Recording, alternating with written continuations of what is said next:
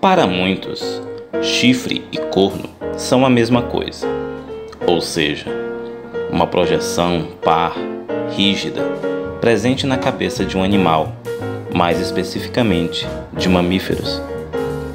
Porém, existem sim algumas diferenças.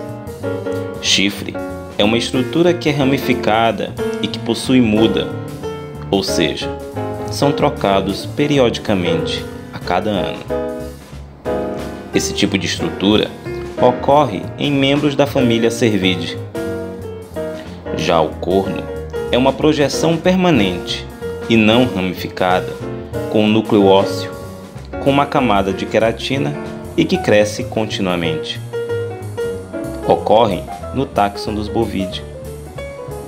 A título de curiosidade, o que chamamos de chifre no rinoceronte é na verdade classificado como corno.